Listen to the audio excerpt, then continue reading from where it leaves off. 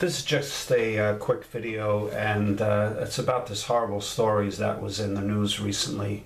Um, and it was an incident that happened down in Florida, and a dad accidentally shot his 14-year-old son. And um, it, it's a devastating tragedy, and it's a sad occurrence. Uh, what happened, and I feel horrible for the boy, and I feel horrible for the father even though, in my opinion, the father was definitely negligent. Um, when it comes to firearms, you're not allowed to make mistakes. And um, unfortunately, I see this stuff a lot because I shoot a lot at a lot of different ranges, and, and, I, and I see a lot of stuff, and uh, it really drives me crazy. Um, evidently, what happened with this situation was. Uh, the father wanted his son to be, you know, around firearms, get used to guns and so forth, which as parents, many of us do. You know, I've had, you know, guns my whole life and my kids uh, know how to operate them and they've been around them. They're not, they're not afraid of them. And, you know, but the bottom line is it's great to teach your, your loved ones and sons and daughters how to shoot, but what's the matter with people that uh, they they just I don't know. Sometimes they leave their brains home when they go to a gun range. I've seen what happened here several times in my life, and basically what happened was the, the guy had a uh, a gun, and I'm gonna just zoom out for a second. He had a uh, a Ruger SR 22, which is uh, what I have right here, and this is the gun that they were using. And I have snap caps in this gun. They're plastic snap caps, uh, Tipton snap caps. And what had happened was, um, if anyone knows how to use this gun, uh, it's it's a it's a double action, single action. So when you rack the slide on the gun, if if the safety is off like it is now, and uh, the hammer is cocked back, which means your your first shot is going to be a double action if you decock it and then put the safety back on. But once you take the first shot, let's get rid of that empty uh, snapped cap. Uh, after you take your first shot, your your gun is now in single action. So what does that mean? It means that it's a really light trigger pull. You can see the hammer is back, it's ready to be fired. And as you can see, it takes no effort whatsoever We'll do it again. So each subsequent round, it's going to keep that hammer back. The problem that happened was this father was shooting this gun and it was in this stage and uh, a shell casing from the 22 shot down his back and he i don't know he reached back somehow while his finger was still on the trigger and he must have you know been jumping around like a crazy person because I guess this hot shell casing was so disturbing to him. And as he reached back, he went like that and he shot his son. And I think he hit him in the neck, in a jugular vein with the 22, and unfortunately it was all over. But here's my point, and wh why I'm making this video is because I've seen similar things happen. Not, not a death at the range, but I've seen people um, wearing very light clothing, sometimes ladies wearing very skimpy attire when they're shooting, and shell casings going down the front of their shirt, and all hell basically breaks loose after that. You know, the shell casing goes down, and, you know, they jump and flail all over the place because, you know, it burns. But, you know, let's not forget, we're shooting damn guns here. These aren't toys. So, you know, dress appropriately. Uh, cover up your skin, and more importantly, I don't know, uh, figure out what you're doing, and it's not going to kill you. It's a shell casing. It's hot. It's not even going to leave a leave a leave a mark on you.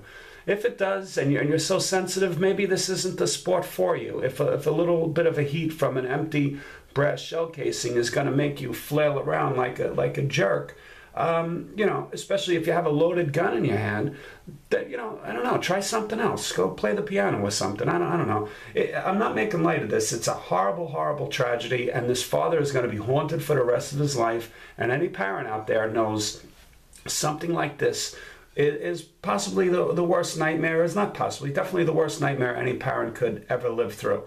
Bottom line is follow safety rules and keep the gun pointed downrange, keep your friggin' finger off the trigger until the gun is on target, and, and, don't wave the gun all over the place. I can't tell you how many times I've been muzzled at a gun range, and, and I make a big deal about it. And, and that's the other point I wanted to cover in this video. Make a big deal. If someone muzzles you or someone does something stupid like that, even if they're three or four bays away from you, and and you see that they're all you know upset because a shell curse casing burnt them a little bit and they're going like this and waving all over the place with with with the loaded gun wait until the gun is you know pointed safely and and confront the person because i do I, I i don't need to go to a gun range and get shot by a moron or or more so if i have a loved one with me which many times i take my wife my kids this and that then I'm super vigilant. I mean, times a thousand. Like, if you act anywhere like a moron when I'm at that gun range with my family, I'm getting you the hell out of there. One way or another, you're out. I, am not going to let you dictate, uh, you know, whether my life or my family's life goes on or not from that point. It's not your decision.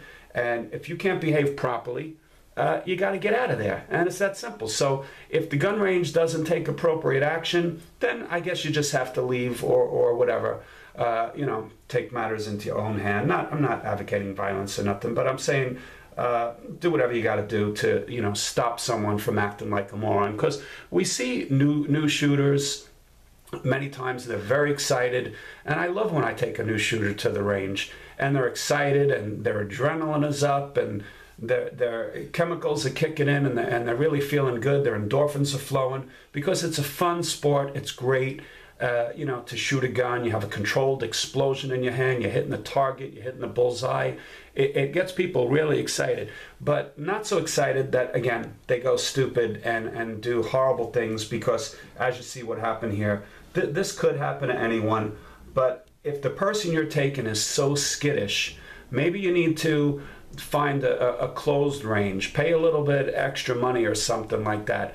Uh, you know, have have some qualified person, you know, there with them, and make sure there isn't any innocent bystanders around. That you know, if you feel they're going to be so upset at the sound of the gun or or you know, a, a shell casing landing on their skin.